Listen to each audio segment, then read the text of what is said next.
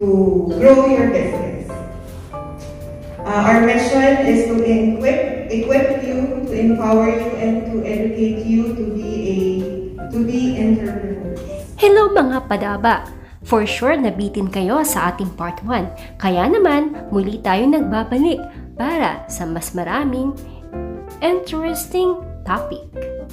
Just keep on watching. There's companies in multiple industries, such as retail, na tayo ng tulas. Ayan. Answer.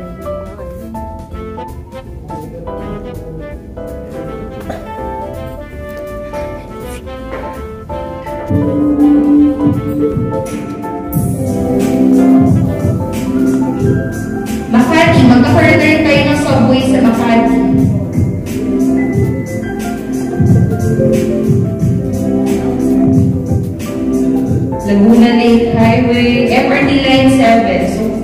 Taga QC, diretso na siya hanggang Bulacan.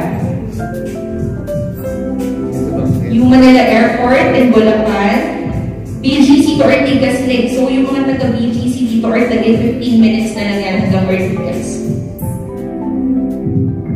Calax, LRT, hanggang Cavite na.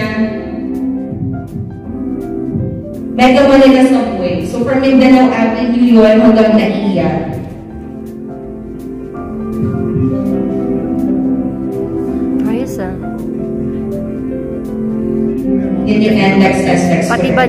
Nandyan oh. So, kung nasa itong mga infrastructures na to, andun yung mga properties ni SM. So, here's a short video again the best performing economies globally, with a consistent 60-70% annual So we have, we actually have two proven business models. Okay? Now number one, business model number one is basically buy and sell. So very normal. We buy, you sell. Parang ano lang yan, parang bili ka ng bahay, benta mo. But ano pa ba ang meron doon? So mamaya i-discuss natin yun. So sa number two, we have, business model number two, we buy, we lease, and we sell. Sell. So yung tatlo niyan, iba yung buy and sell, iba rin yung buy, lease, and sell. So let's be more particular about these two um, business models. Next slide, please. Ayan, sabi nga ni. Mr. Wa- Warren Buffett, do not put all eggs in one basket. Anong ibig sabihin niya? Di- Diversify natin kung anong meron tayo. Then, don't wait to buy real estate, but buy real estate and wait. Bakit? Kasi tumataas yung value. Alam mo naman natin. So kahit anong bili mo regarding real estate, lahat ay tumataas. But, saan ba yung mas mabilis tumaas? Yun ang kailangan natin malaman. Ano yung mas mabilis? Land, or condominium?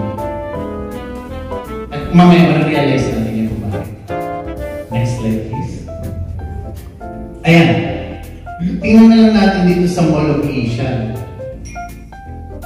Yung C residences, katulad ni Mike kanina sinabi natin, nag-start siya, nag-launch siya, 2008. 85,000 per square. Now looking at um, the selling price, it's 287,000 pesos. In dirhams, it's 27. But nag-start siya 6,000 dirhams, naging uh, 21, sorry, naging 21,000.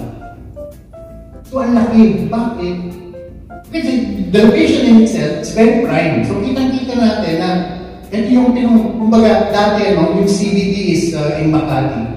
But nung tinayo yung MOA, naging add-on siya, naging, naging one um, main feature ng Manila.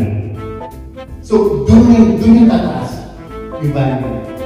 Then um, sa Shell Residences naman, nag-start at 95,000. Then yung current, yung current um, selling price is 328 per square.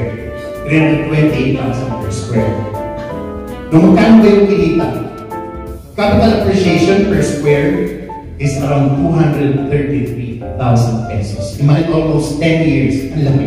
Laki ng kinita. Mamaya na. Then, um, looking at this property, kasi ito yung mga first few properties ng SM uh, sa MOA. makikita mo yung value appreciation. And then later on, makikita niyo yung mas details din. Kasi ito, this, these are the projects before. Nung mamaya, i-discuss ko rin yung paano kikita doon? Or paano kikita si client natin? Based sa ganito din. Same, um, same, um, same feature, same, same, uh, same concept. Paano ba? Okay. No, yung ibang projects naman, for some SLTC projects, nandiyan din yung fame Makabite. Green 2, and yung fame nasa EDSA. Green 2 is in, uh, yung first yung green is in Lasal, and then yung, yung, yung isa is in Dasma. So, 2014, yung chamber residences, nag-start din siya sa 110,000 per square. And then ngayon, ang current selling price is 195. That's- So that's almost 90 to 100% agad yung tinaas niya in just um, 5 years.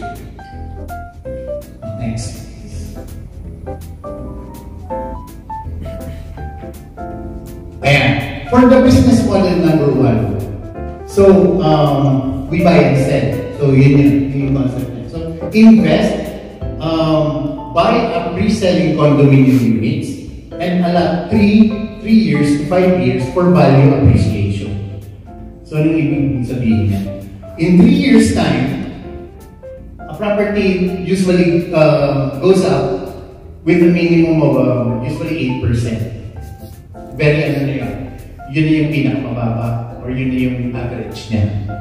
Minsan, kapag tuloy-tuloy ang development, mas mataas ka dyan. Okay? Now, ano yung ibig sabihin ng resale? Resell, sorry. Resell. Resell the, the condominium units on the third or fifth year based on the appreciated value. So after after 3 to 5 years, pwede mo nang ibenta. Kikita na agad kayo doon without paying the whole amount. Hindi na kayo aabot doon. Actually, kahit tapusin niyo yung amortization period, hindi naman talaga tayo maglalabas ng pera. Kasi pwede mo siya iparent. And kung sino yung tumitira, siya yung magbabayad. Pag tinirahan mo yung property mo, syempre ikaw din yung magbabayad. Pero kung iparent mo yung property mo, property mo, hindi niya, may nagbabayad para sa'yo. So mali na yun. Okay. Now for um, for uh, business model, okay, invest buy about a pre-selling condominium, uh, condominium units, and allot five years for value appreciation. Same lang din. Okay. Pero ito may lease, may kasamang lease yung business model. Upon turnover on the fifth year, usually fifth year, minsan three years, depende sa project completion. okay. So on the fifth year, usually, uh, open na yung property. So you you you you are you have the option na ipalis nyo sa for, for the next five years. So kikita na kayo doon. Yun na yung yun na yung yung um, yun nga yung tinatawag natin na paying for itself na. Yung nagre-rent, yun na yung nagbabayad ng amortization natin or ng mortgage ng property natin. Okay? Then another five years, on the 10th year, pwede mo na ibenta.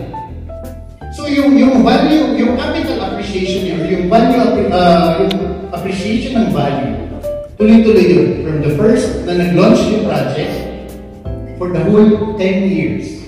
So imagine, 8% per year from the start of the launch ng project. 8% times 10, how much do you get? It's almost ROI. Hindi pa natin hindi pa natin kino-consider yung yung leasing doon. Okay? So, nasa sa inyo, nasa, nasa client natin yun. Ano ba ang mas maganda? Business model 1 or business model 2? But we can guarantee you that you will earn a lot of money here if you really wanted to focus on selling the property, particularly SMBC. And again, I believe that opportunity only knock once. And at the same time, the motivation is there. You just have to make it a habit for you to be able to sustain it. Mahirap, pero lahat dumadaan talaga sa butas ng karayom. Okay, guys? So I hope this this this event will help you and guide you towards going up and elevate yourself. Setting food on the table for your family is very important. Giving good shelter to your children, family. And at the same time, having a good lifestyle. Elevate your lifestyle. Masarap, maraming pera. Dahil marami kang kamag-anak. Tama ka rin? Yes. Tama? Tama. Tama? Okay. Do you agree? Agree? Yes. Ayan. So gusto ko, paglabasin nyo dito, madaming kamag-anak. Madami, okay? Yes. Okay. With that, more power and good luck to you guys. Thank you. Thank you, picture. Sir So yan guys, tapos na po yung event. Ayan, we're going home na nila Ate Nessie. And, ayan. So, kumusta naman Ate Nessie? Super enjoy. Diba? Na-enlighten. Na, ano, na, ano tayo? Diba yun? Positive. As in, yun. Nakaka-overwhelm. Lalo na kung nakikita mo yung mga numbers. Oh my God. Malapit na talaga. Yes. Correct. Yayamanin! yan. So, yan guys. Pauwi na po kami. And, so, tapos na yung event. Very successful naman po yung ano, kinalabasan. And then, the little congratulate Ate Nessie kasi nanalo siya sa first game. sa game namin, my God. Nakakuha po siya ng isang house and lot. Grabe. wow! diba? Ilang months na kayo dito? Baka maubos na namin ma'am yung 3 months. Oh? Ah, three months na sa visa niyo, no? Mm-mm. Sige. Thank you. Ingat. So, we're here na sa elevator and ayan. ano tayo? Ano? Sa ground floor tayo? Tayo nga pala na. So, palabas na po kami ng hotel. And we're going na po sa parking. And hindi po, hindi na pala muna tayo uwi dahil, dahil we're going to buy something for shabu-shabu later. Kasi meron ng pa-sponsor sa swimming pool. yes. Punta tayo sa gate sa ano? Saan? Harry Ford dito. Wala yung nakaganito. Hmm. Ano? Ano yung gawin natin? Ano gagawin? Natatanda mo yung mga biscuit na yung masarap, yung malutong. Dito Okay. binibili ni Naisel yung tigto 2 beer lang. Oh, sige, sige. Baka sakali. Okay, go, go. Ito. Oh. Ano ba? Po, dyan. Sige. Silipin lang natin yung na. Hope you enjoy watching this video. And for those interested to be an investor or an agent like us, just simply PM or WhatsApp to 054 355 1395 for more details. Thanks for watching!